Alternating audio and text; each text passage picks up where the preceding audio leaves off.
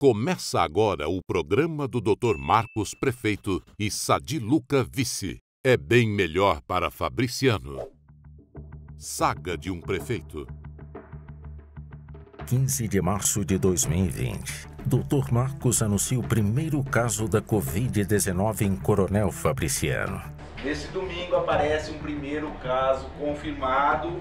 Deixando a população apreensiva, assunto este que até o momento só se ouvia dizer sobre a doença pela TV e redes sociais. No dia seguinte ao anúncio do primeiro caso de Covid, Dr. Marcos de imediato transforma a UBS do centro em unidade de referência de enfrentamento ao Covid-19. Dia 21 de março, seguindo decretos federais e estaduais, foi determinado o fechamento dos comércios, ficando aberto apenas os serviços essenciais. Na mesma semana, Dr. Marcos inicia a contratação emergencial de profissionais da saúde para reforçar as ações de combate ao coronavírus. Em tempo recorde, os profissionais realizaram visitas domiciliares aos idosos, com o objetivo de avaliar o estado de saúde, orientar sobre prevenção e vaciná-los contra a gripe H1N1. Após uma semana do comércio fechado,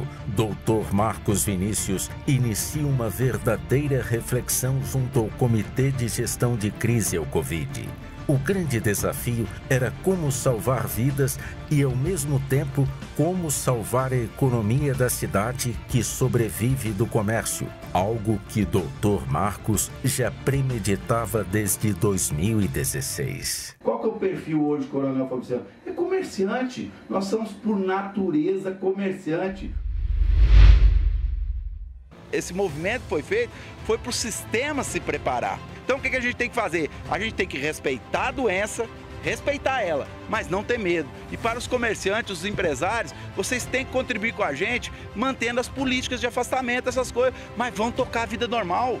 Seguindo o protocolo criado pelo Comitê Gestor de Crise, dia 27 de março de 2020, o prefeito Dr. Marcos determina a reabertura das empresas comerciais, industriais, prestadores de serviços e outros, conforme protocolo de prevenção ao Covid. E quando vê alguém vem dizer assim, vamos ter que fechar tudo, ele falou não. Coronel Fabriciano investiu na saúde. Então ela tem para onde ir o doente. Com isso deu muita força para nós, que aí eu continuei contratando em vez de demitir os números de casos da doença continuam a crescer em todo o país. O segredo era não adoecer enquanto não tivesse o sistema de saúde, porque o adoecer ele é inevitável para todos os cidadãos. Sim, foi possível enfrentar o Covid-19 e manter a economia. Então, manter saúde e economia junto, né? Isso provou para nós que não é um trabalho daquele momento só agora da pandemia, mas é um trabalho vem feito, sendo feito desde 2017.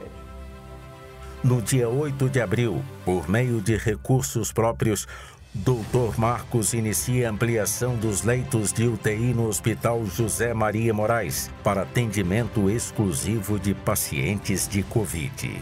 Fui internada no dia 22 no Hospital José Maria de Moraes. Fui entubada, ficando 11 dias na UTI, ganhando alto dia 12 de agosto, sendo 21 dias depois. E tanta equipe de enfermagem, como os médicos, como os aparelhos, tem uma preparação sim para estar recebendo pacientes com esse tipo de doença. Doutor Marcos Vinícius, eu digo para o senhor primeiramente colocando Deus na frente e o Senhor com seus projetos. Continue assim, sendo esse prefeito que não somente manda a sociedade fazer, mas anda lado a lado com ela. Os resultados destes investimentos em saúde eram vistos a cada paciente que saía curado do hospital Dr. José Maria Moraes.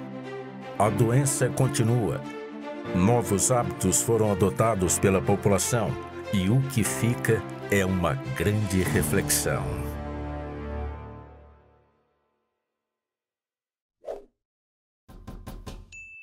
Vote 45 é bem melhor para Fabriciano.